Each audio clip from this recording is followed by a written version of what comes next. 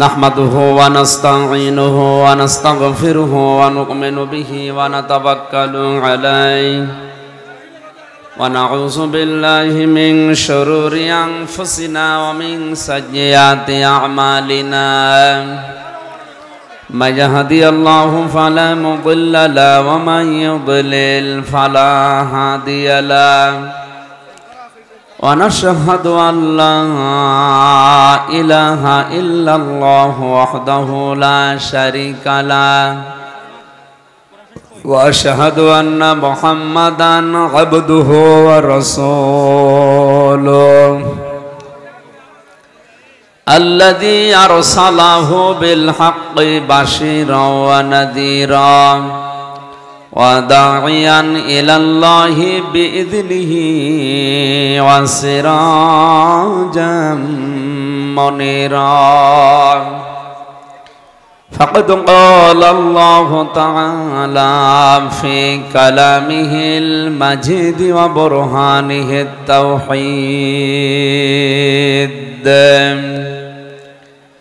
জবান খুলে পড়ে না। শাইতানির রাজিম।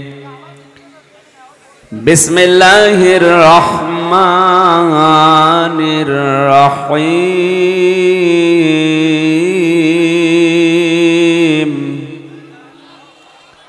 وعباد الرحمن الذين يمشون على الأرض هونا وإذا خاطبهم الجاهلون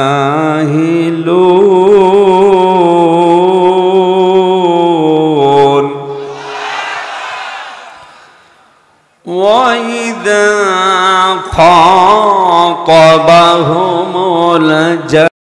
الجاهلون قالوا سلاما.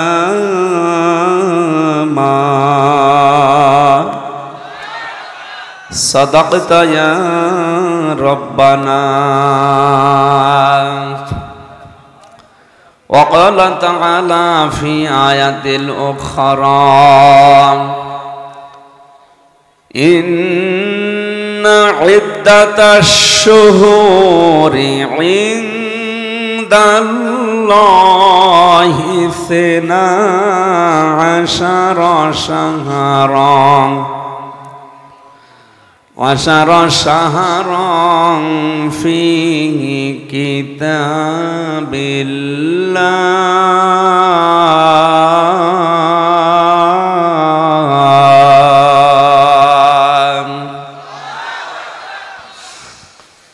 وما زادهم إلا إيمانا وتسليما. اللهم صل على مولانا محمد وعلى آل سيدنا কত ব্যথা, কত ভাবে শয়েছ যে তুমি তোমারি খনে লালতায়ে ফেরি ভূমি। ফেরেস্তা এসে যাই ধ্বংসের হুকুম, লৌহ মাখা মোহাম্মদ প্রাণে তেহাসরাত হে আল্লাহ ক্ষমা কর এতয়ে ফেবাসী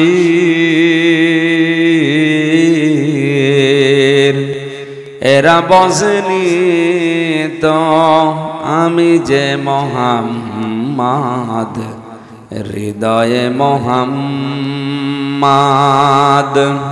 আলহামদুলিল্লাহ। বাংলাদেশের ঐতিহ্যবাহী জেলা সিরাজগঞ্জ, শাহজাদপুর থানার অন্তর্গত ওতাজিয়া গ্রামের যুব সমাজের উদ্যোগে মহাবিশ্বের মহাবিশ্ব আমাদের মালিক, আমাদের মনিব, মহান রব্বুল ইসাতুল জালালের মুখের পবিত্র বাণী, কোরআনে কারি সক্রিয় আদায় করলে আল্লাহ ওই নিয়ামত আবার দুনিয়ায় বাড়িয়ে দেয়। এটা আমাদের জীবনে এখন কিন্তু নিয়ামত।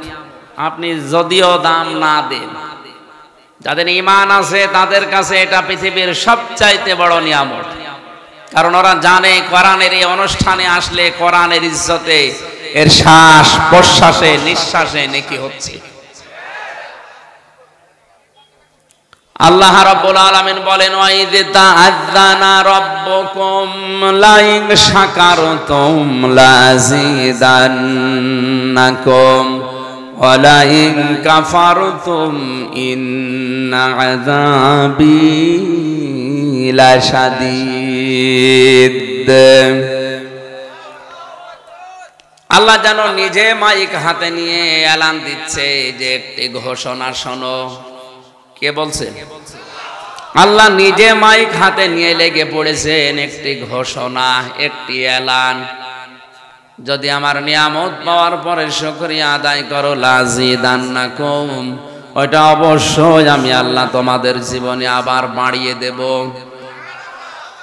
যদি না শুক্রিয়া করো, দাম না দাও, মর্যাদা দিতে না চাও, জীবন থেকে ওইটা ছিনিয়ে নেব। এবং কঠিন আজাবের ভেতরে ফেলে দেব। এদের তাফসির পড়তে গিয়ে আমি সক্রিয় আদায়ের শর্ত, শ্রেণি এগুলো পেয়েছি তিনটা। বাংলাদেশে অধিকাংশ মানুষ আমরা জানি নিয়ামতের সক্রিয় আদায় করে। একেবারে টটি পর্যন্ত খেয়ে ঢেকর তুলে বলে, আলহামদুলিল্লাহ। হয়ে গেল। না।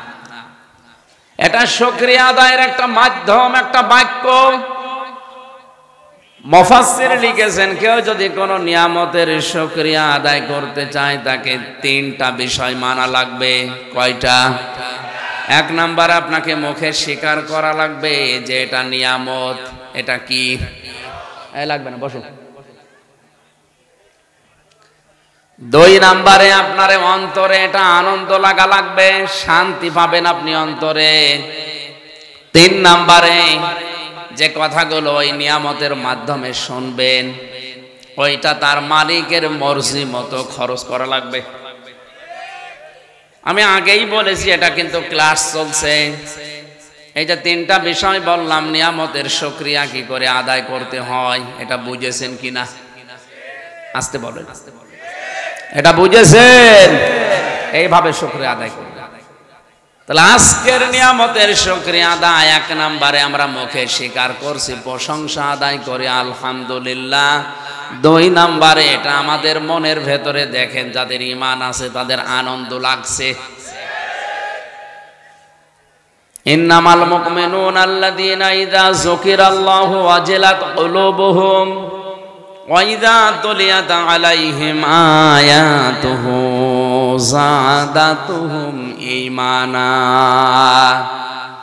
আল্লাহ পাক বলেন, সত্যিকারের ইমানদার তো তারা, যাদের সামনে আমি আল্লাহর নাম উচ্চারণ হলে তাদের অন্তরাত্মা কেঁপে ওঠে। আর তাদের সামনে আমার কোরআনে কারিম থেকে যখন বোঝানো হয়, তেলাওয়াত করা হয়, যদি ইমান থাকে, ওই ইমান আরও বেড়ে যায়। ইমান আরও বেড়ে যায় কথা কার? মাস্ট বি আজকে এখানে ইমানদার যদি এসে থাকেন আপনি, অবশ্যই আপনার ইমান বাড়বে। আর যদি ইমান না থাকে, কি বাড়বে? নবিজিয়ে করান আবু জেহেলের সামনেও পড়েছিলেন, আবু বকরের সামনেও পড়েছিলেন। দুইজনের নামের আগে আবু আছে এক আবু কোরআন শোনার পরে তার ইমান বেড়ে গেছে। আর এক আবু কোরআন শোনার পরে ইমান বাড়ে নাই, শয়তানি বেড়ে গেছে। এখানে আপনি বসবেন, আবু জেহেলের মতো মন নিয়ে না, আবু বকরের। আল্লাহ পাক আমাদেরকে আবু বকরের সাথে যেন কবুল করেন, বলেন আমিন। তিন নম্বরে নিয়ামতের শর্ত কি পেয়েছি? শুধুমাত্র অন্তরে আপনার আনন্দ লাগবে, শান্তি লাগবে, তা না। এখান থেকে যে কথাগুলো আজকে ডেলিভারি দেওয়া হবে, কোরআনে কারিমের আলোকে এই কথাগুলো আপনারা প্র্যাকটিক্যাল লাইফে আল্লাহর মর্জি মতো মিলাবেন। কথা বলে না কেন? আজকের আমার আলোচনার বিষয়, আল্লাহর বান্দা কারা? আমরা সবাই দাবি করছি, আমি কি আল্লাহর বান্দা? না না। আপনার ভেতরে যদি বারোটা গুণ না থাকে, আপনি আকাশ দিয়ে উড়ে যেতে পারেন, আপনি আল্লাহর বান্দা হতে পারেননি। আল্লাহ পাক তার জান্নাত বানিয়েছে কিন্তু গরু ছাগলের জন্য না, তার বান্দাদের জন্যে। ফাদখলি ফি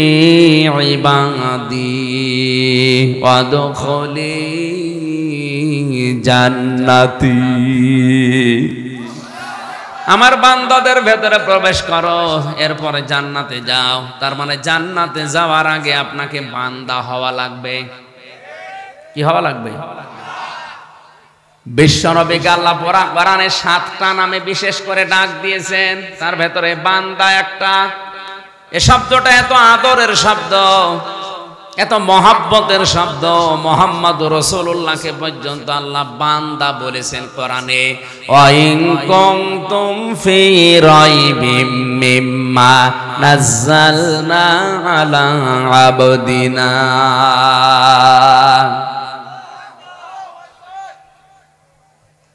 সিরাজগঞ্জবাসী আজ বাংলাদেশ, ভারত, পাকিস্তানে কত মানুষ বুঝে না বুঝে বিভিন্ন পীরের বান্দা বা গোলাম দাবি করে। এলাকায় পীর আছে কিনা আমি জানি না।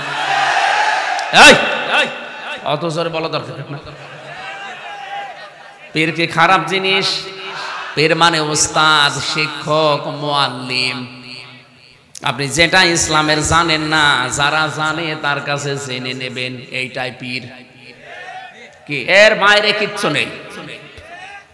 তার দরবারে যাওয়া লাগবে, গরু, ছাগল নিয়ে, পা টেপা লাগবে, এগুলো সব ওদের বানানো।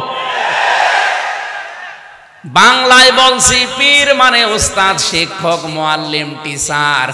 ফাসআলু আহলা যিকরি ইন কুনতুম লা তা'লামুন ওরা কোরআনে আল্লাহ আয়াতটা দুইবার দিয়েছেন। যারা জানে না, তাদের উচিত যারা জানে তাদের কাছে যেন জেনে নেয়। এইটা আরবিতে, এটা ফার্সিতে পীর বলে, আরবিতে বলে মোয়াল্লিম, ইংরেজিতে বলে টিচার, বাংলায় আমরা শিক্ষক বলি। এ বাংলাটা বুঝেছেন কিনা? পীর কি বাংলা শব্দ? কি? ফার্সি। বলেন বলেন। ইংরেজি টিচার। আরবি মোয়াল্লিম বাংলা। এই যে শিক্ষক, এইটাও তো পীর। কি, কথা বলেন ওই যে ডক্টর সাহেব, ওইটাও পীর। যারা জানেন না, ওনার কাছেও বিষয়টা জেনে নেবেন, এইটাই পীর। এতটুকু পীরের শেষ। তো বাংলাদেশে যেই জিনিস যত ভালো, তার নকল বের হয় তাড়াতাড়ি। পীর তো ভালো, এই পোতাসিয়ায় যে পীর এসেছিলেন, কি নাম জানো শাহ মখদম রহমতুল্লাহ আলাইহে। তাদের জীবন আমি পড়ে দেখেছি, এই দেশে যারা ইসলাম প্রচার করেছে, নিজের জন্য কিচ্ছু করেনি, সব।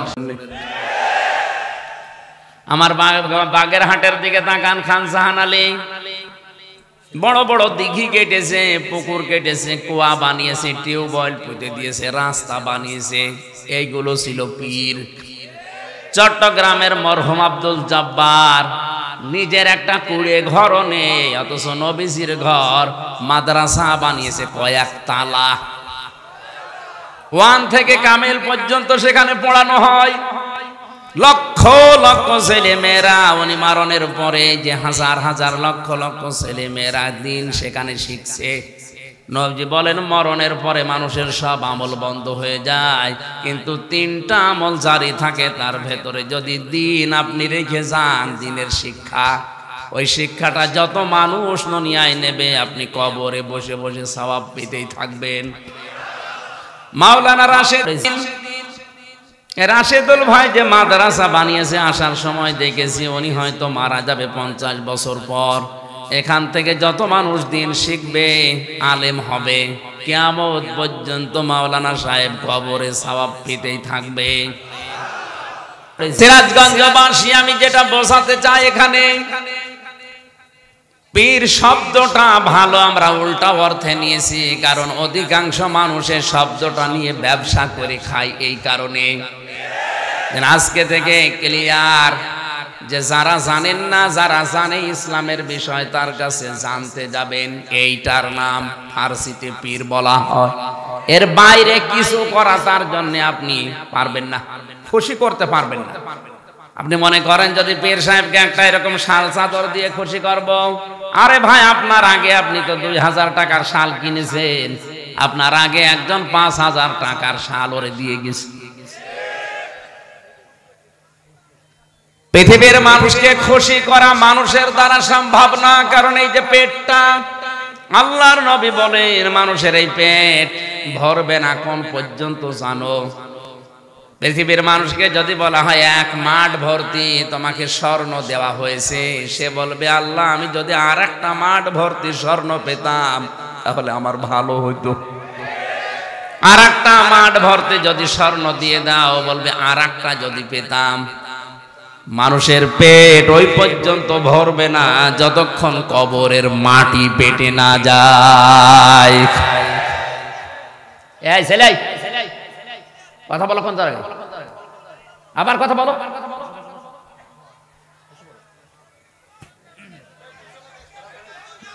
কথা বলা যাবে না ভাই, না দেখতে পারলেও চুপ থাকে। কত মানুষ দেখছেন না, নীরব হয়ে শুনছে আপনার জন্য, যদি ডিস্টার্ব হয়, কবিরা গোনা হবে আপনার।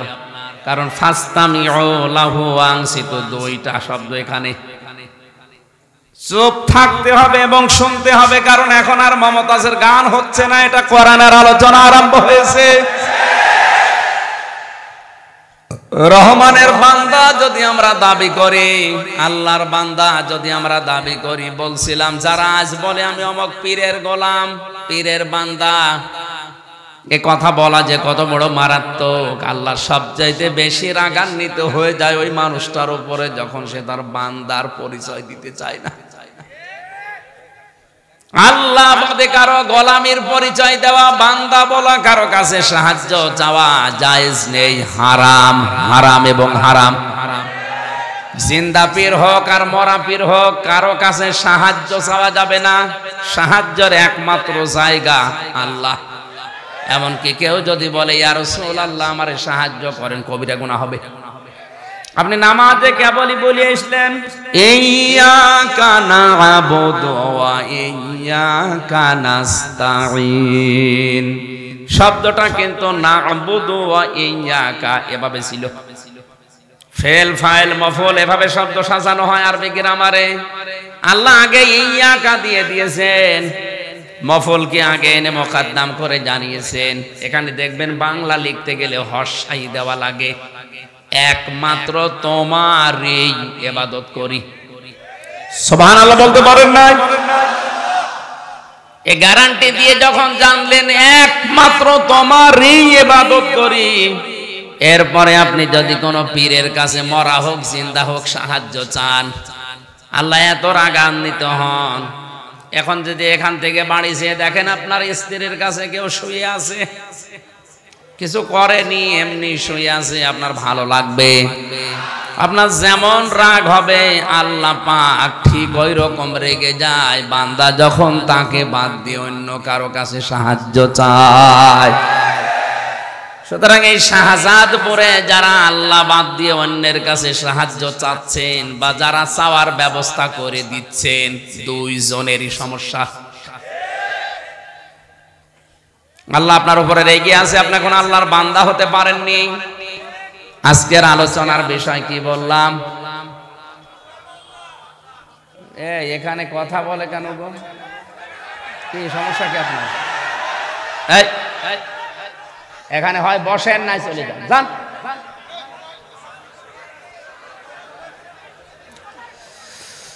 আমার ভাইরা আমি বলছিলাম, আজকের আলোচনার বিষয় হচ্ছে আল্লাহর বান্দা কারা?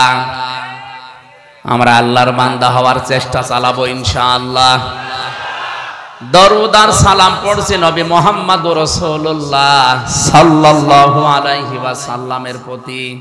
এখানে একটা তথ্য আছে, আলেম আছে না আলেমদেরকে বলছে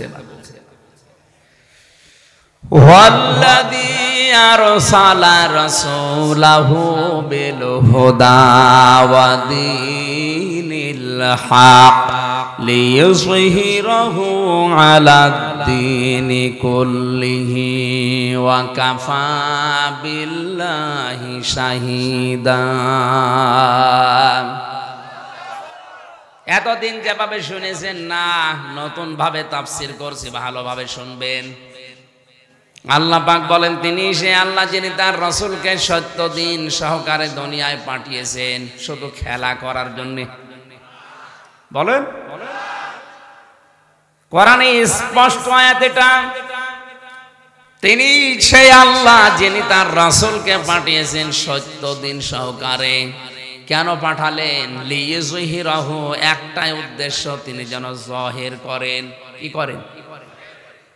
জহের করেন, প্রকাশ্য করেন, উপরে তুলে নিয়ে আসেন, প্রকাশ করে দেন, প্রতিষ্ঠিত করেন, প্রায় নিরানব্বইটা অর্থ আছে এর। আলাদিনী কুল্লিহি, দুনিয়ায় যত ধর্ম আছে, যত দিন আছে, সব দিনের উপরে যেন তিনি তার পাঠানো দিন ইসলামকে উপরে তুলে নিয়ে আসেন। আল্লাহ তালা এতটুকু বলে শেষ করেননি, ওয়াকাফা বিল্লাহি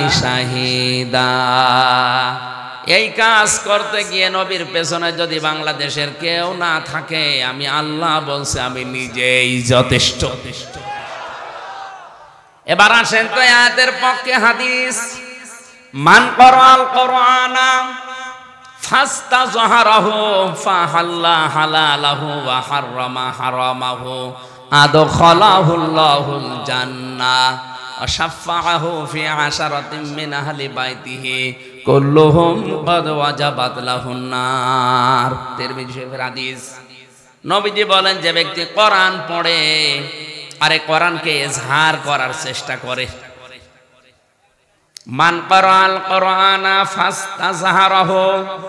ওই যে কোরআন এলি জহিরাহ এখানে ফাস্তাজহারাহ শব্দের মাদ্দা কিন্তু একই।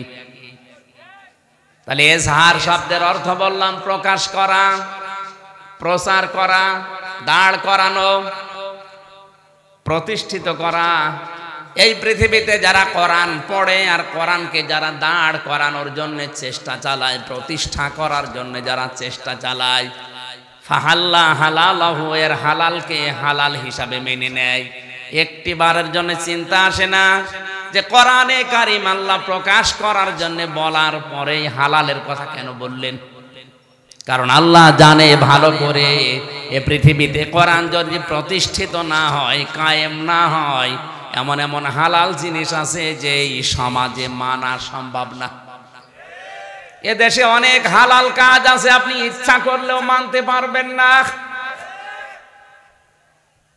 মেয়েকে বিয়ে দেওয়ার সরকারি যে নিয়ম আছে, আঠারো বছর আর ছেলের কত? হ্যাঁ? এ বয়সের আগে যদি আপনি বিয়ে দেন, নিশ্চিত আপনার মামলা খাবেন, ধরা খাবেন, জেলে যাবেন, কথা বলেন না কেন? কোরআনের সাথে আয়াতের কোনো এই নিয়মের কোনো মিল আছে? অথচ এ দেশের আইন সরকারি আইন, আপনি মানতে বাধ্য। ইসলাম যদি থাকতো, এ আইন মানতে আমরা বাধ্য থাকতাম না। কোরআনের হালাল বিষয়গুলো আমরা এখন মানতে পারব না, কারণ কোরআন কায়েম নেই। হারামাহু, যারা এর হারামকে হারাম বলে মেনে নিয়েছে, আজ অনেক হারাম আছে যেগুলো আমরা ইচ্ছা করলেও ছেড়ে দিতে পারছি না, মেনে নিতে বাধ্য হচ্ছি। আজ হাজার হাজার অফিসার ঘুষ খায়। এদেরকে যদি বলা হয় কি, বলে আমার কিছু করার নেই। ওপরের নির্দেশ। এই যে আমার এই গাড়িটাই মনে করেন, এর কাগজপত্র, রোড পারমিট, সব ঠিক আছে, ওকে। সিরাজগঞ্জ থেকে কুষ্টিয়া পর্যন্ত যেতে কমপক্ষে তিন থেকে চার জায়গায় আল্লাহর অলিরা ধরবে।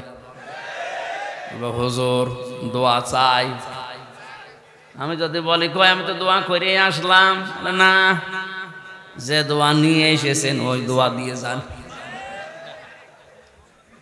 শেষে বাড়ি পর্যন্ত যেতে যদি আমি এক হাজার করেও দোয়া দিতে দিতে যাই, আমার চার হাজার যাবে। টোল আছে, রাস্তায় আছে, খরচ, ড্রাইভারের খরচ, তেলের খরচ। বলেন এখন ওদের যদি জিজ্ঞাসা করা হয়, এটা কি জোর করে নিচ্ছেন? জায়েজ হবে। ফতুয়া উল্টো করে দেবে, বলে হুদুর হাদিয়া দেওয়াও যায় নাও যায় এটা কি হাদিয়া হচ্ছে?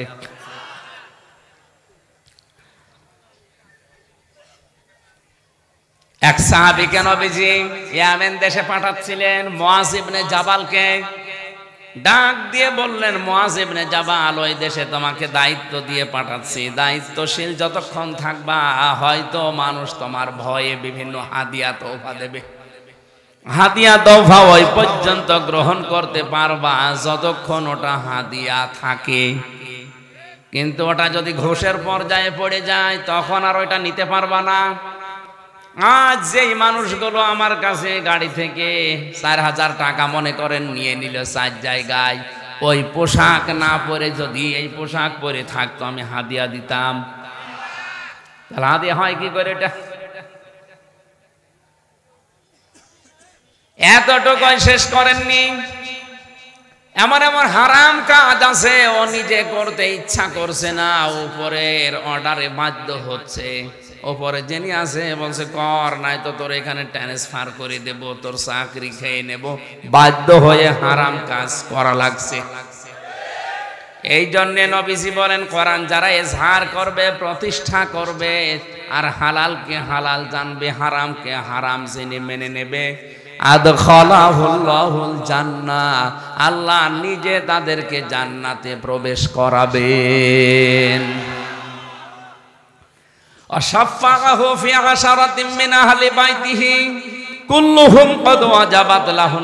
একটা তথ্য আছে এইদিকে তাকান। তার জন্য সুপারিশের অনুমতি দেওয়া হবে তার পরিবারস্থ লোক থেকে এমন দশ জনের ব্যাপারে, যাদের জন্য জাহান নাম ওয়াজিব ছিল। কি ছিল? তার মানে জাহান নামে যারা যাবে এখানে একটা ছোট্ট সূক্ষ্ম বিষয় লুকিয়ে আছে।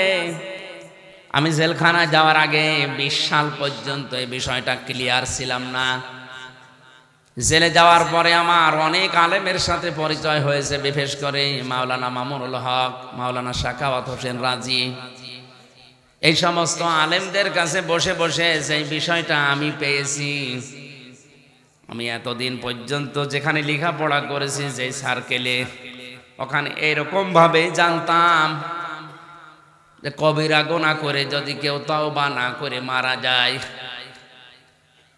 ওই লোকটা জাহান নামে গেলে মহান আল্লাহ ওকে আর বের করে দেবে না। কিন্তু মাওলানা মামুনুল হকের সাথে, মাওলানা শাখাওয়াত হোসেন রাজের সাথে বহুদিন, প্রায় দুই বছর, আট মাস আমরা পাশাপাশি। এ বিষয়টা নিয়ে প্রায় পনেরো বিশ দিন একাধারে আমরা আলোচনা করে ক্লিয়ার আমার কনসেপ্ট এসেছে। কোনো মানুষ যদি শিরিক আর কুফুর শিরিক? শিরিক আর কুফুর করে কেউ যদি মারা যায়, ওই লোকটার জন্য বিনা হিসাবে, বিনা বিচারে জাহান্নাম, ওর জন্য আর কিছু নেই। কিন্তু কোন মানুষের যদি ইমান থাকে, আর ওই মানুষটা যদি এই দুনিয়াতে গোনা করে, সে কবিরা গোনা হতে পারে, সগিরা গোনা হতে পারে তওবা করার সময় যদি না পায়, আর যদি বাগি না হয় এই মানুষটা যদি জাহান নামে আল্লাহ দিয়েও দেয় কোনো কারণে ইমান যদি থেকে থাকে, মহান আল্লাহ তাকে যে কোনো দিন আবার বের করে নিয়ে হাউজে কাউসারের পানি থেকে গোসল করি আবার জান্নাতে দিয়ে দেবেন। কিন্তু এখানে সূক্ষ্ম বিষয়টা কি? আপনার ইমান যদি থাকে, কি থাকে?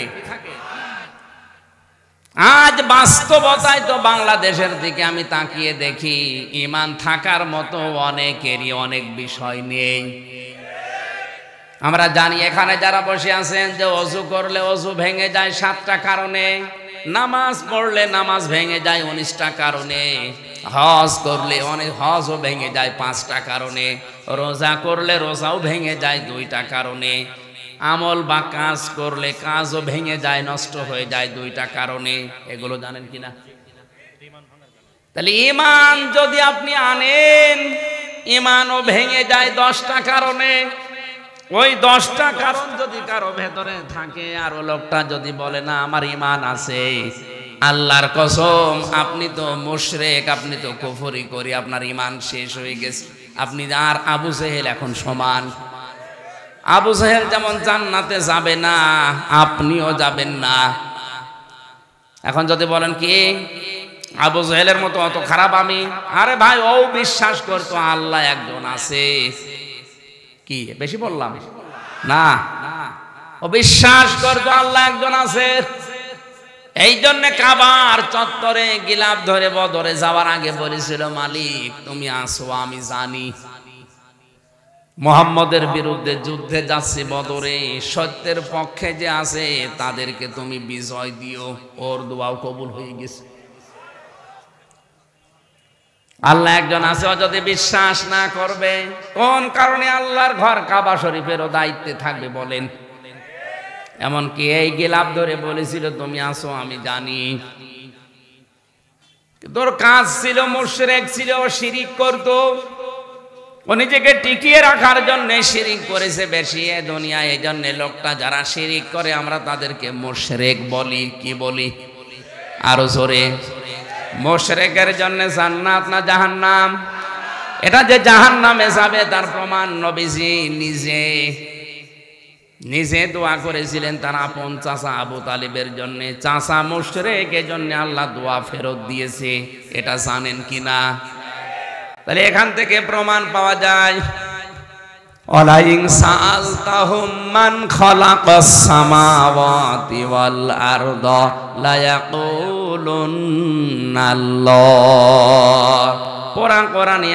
কয়েক আল্লাহ জানিয়েছেন।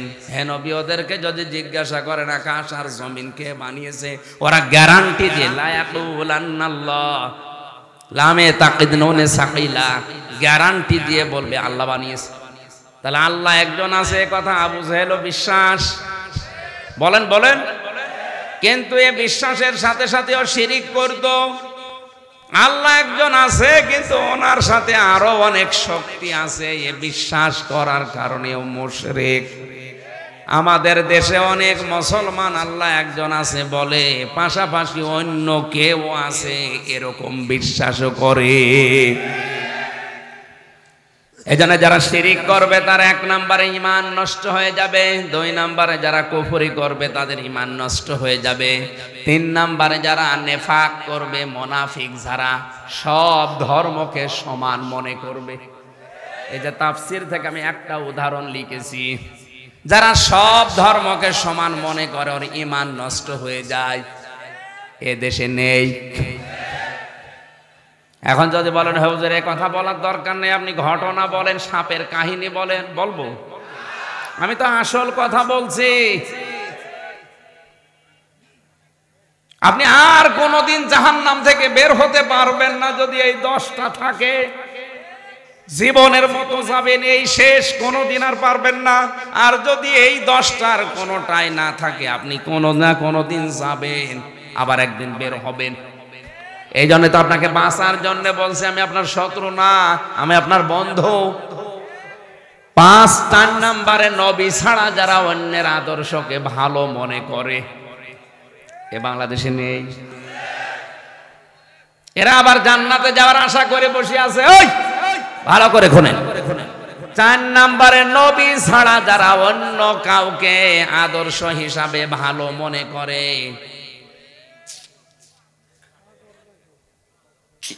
করে না, কেউ করে না।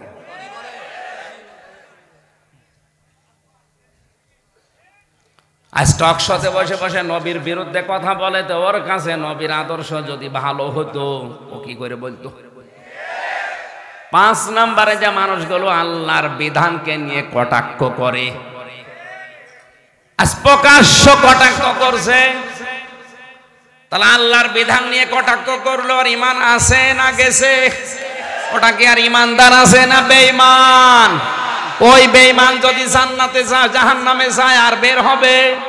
তাহলে এরে এখনই সতর্ক করা লাগবে না, ওরে এখন থামা লাগবে না। ছয় নম্বরে, আল্লাহর বিধানকে যাদের ভালো লাগে না, এই মানুষগুলোর ইমানও ভেঙ্গে যায়, নষ্ট হয়ে যায়। সাত নম্বরে যারা জাদুকার, আট নম্বরে যারা মুসলমানদের বিরুদ্ধে ষড়যন্ত্র করে। আমার মনে হয় আট নাম্বার পয়েন্টে বাংলাদেশে অনেকেই ধরা খাবে।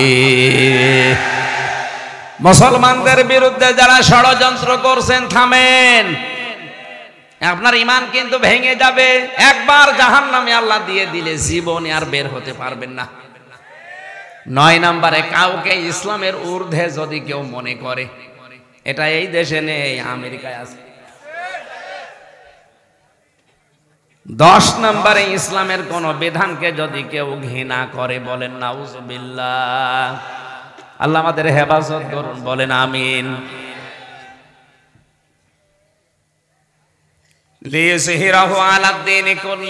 যেটা বুঝিয়েছে ইসলামকে যারা দাঁড় করানোর চেষ্টায় থাকবে, প্রকাশ করার চেষ্টায় থাকবে, কায়েম করার, প্রতিষ্ঠা করার চেষ্টায় থাকবে। আর হালালকে হালাল জেনে মেনে নেবে, হারামকে হারাম জেনে মেনে নেবে। তাকে আল্লাহ জান্নাতে শুধু প্রবেশ করাবে না, এমন দশ জনের ব্যাপারে তারে সুপারিশ করার অনুমতি দান করবে, যাদের জন্য জাহান্নাম ওয়াজিব হয়ে গিয়েছিল। সুতরাং ওই যোগ্যতা অর্জন করার জন্য আজ আমাদেরকে কোরআন পড়তে হবে, এখানে কোরআনের হাফেজ হওয়া লাগবে, সে কথা নেই। মান করআল কোরআনা, যে ব্যক্তি কোরআন পড়বে, হাফেজ হওয়া ফরজ না। হাফেজ হওয়া ফরজ না। কোরআন ফরজ। কোরআন পড়া কি?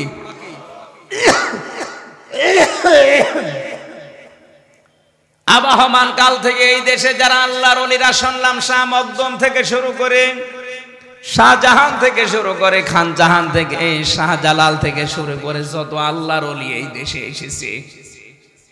তাদের জীবনীগুলো আমাদের সিলেবাসে আছে, আমরা পড়েছি। আমরা দেখেছি ওই মানুষগুলোর কাছে কেউ গেলে কোরআন শরীফ তুলে দিত, এই নাও, তুমি এইটা পড়লে আল্লাহকে পেয়ে যাবে। এখন তাদের উত্তরসূরি যারা দাবি করে, দেখবেন এই মানুষগুলোর কাছে গেলে আগে কোরআন তুলে দেয় না, আগে জিকির দেয়।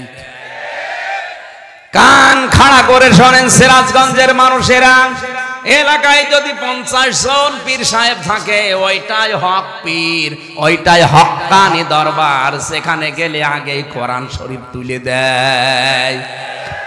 আর যেখানে গেলে শুধু হো হো ওটা ভণ্ড। কারণ হো হো বলে কোনো জিকির নেই। কথা বলেন না কেন?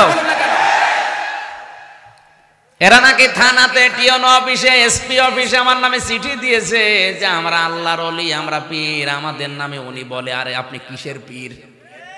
আপনার দরবারেতে কোরআন থাকবে? শাহজালালের কাছে কেউ গেলে আগে কোরআন তুলে দিত। কথা বলেন না কেন? এই যে শাহ মাকদম এখানে যিনি পতাশিয়া এসে পতা পুঁতেছিলেন, ইট নাকি গেড়েছিলেন? ওনার জীবনী পড়ে দেখেছে, আমি জানতাম না যে এই জেলায় সেটা। ওনার কাছে কেউ গেলে উনি কোরআন আগে তুলে দিত পড়লে আল্লাহকে পেয়ে যাবেন। পরিষ্কার ভাষায় বলছি, বাংলাদেশে আটচল্লিশ হাজারের উপরে এখন পীর। আটচল্লিশ হাজারের ভেতরে হাতে গোনা কয়েকটা বাদ দিলে অধিকাংশ গুলোই ভণ্ডামিতে লিপ্ত। এমনকি কাফের পর্যন্ত হয়ে গেছে। সাত ফেরার খাজা মঈনুদ্দিন সিদ্দিকি, নাম শোনেননি? মাওলানা খাজা মঈনুদ্দিন সিদ্দিকি বড় ভাই, উনিও এক পীরের সন্তান। উনি প্রকাশ্য মাহফিলে ঘোষণা দিয়েছে, আমার বাবাও কাফির হয়ে গেছে। কারণ কাজ করে কুফরি, কথা বলে কুফরি। ওনাকে নাকি বলেছিল যে তুই আমার ছেলে, আমার দরবারটার বারোটা বাজাবি। বলেছে, বাবা, আপনি আমাকে কোরআন পড়িয়েছেন কেন? কোরআন পড়িয়ে দেখে আপনার এই দরবার টিকে না। এজন্য আবার বলছি, এই দেশে যারা পীর সাহেব আছেন সেখানে গেলে আগে কোরআন তুলে দেয় মরহুম মৌলানা আব্দুল জব্বার চট্টগ্রামের মতো। সারসিনার পীরের মতো যে যে কোরআন শরীফ নেন, এটা ভালো করে বোঝেন। এক বছর সময় দিলাম, মরিদ হয়েছ, পুরাটা মাতৃভাষায় একবার পড়ি আসো। দেখো তোমার জীবন এমনিতেই পাল্টিয়ে যাবে। আপনি যদি এটা পুরাটা নাই পড়েন, তো এর হালাল কি করে জানবেন? হারাম কি করে জানবেন? এই জন্য কোরআন পড়া ফরজ, হাফেজ হওয়া ফরজ না। এ পুরা এলাকার ভেতরে পাঁচজন হাফেজ থাকলে যথেষ্ট, কিন্তু কোরআন পাঁচজন পড়লে হবে না। এখানে এখানে ধরে পাঁচ লাখ মানুষ থাকে, এই থানায় দুই থানা মিলে পাঁচ লাখ মানুষকে কোরআন পড়া লাগবে। কোরআন পড়া কি? বলেন বলেন। কেমন ফরজ নামাজের মতো? নামাজও হবে না যদি কোরআন না পড়েন। নামাজের যে উনিশটা নামাজ ভাঙ্গার কারণ আছে, আর এক নাম্বার কারণ কোরআন অশুদ্ধ পড়া। এজন্য আহ্বান জানাচ্ছি, যারা এসেছেন, এখান থেকে এই সিদ্ধান্ত নিয়ে যান। মরণের আগ দিন হলেও আমি কোরআন পড়া শিখে মরব। শুধু শিখব না, আমি বসবো, যেভাবেই হোক আমি বসবো। কথা বলুন। চেষ্টা চালান, যদি আপনি এভাবে পড়তে পড়তে নাও পড়তে পারেন, যদি আলিব্বা তা সা পড়তে পড়তেই মারা যান, পঞ্চাশ বছর লাগুক, অসুবিধা নেই। আপনি তালেবে এলেম হয়ে যাচ্ছেন, আর তালেবে এলেম মরে গেলে কোনো হিসাব নেই। সবার আল্লাহ বলতে পারেন নাই?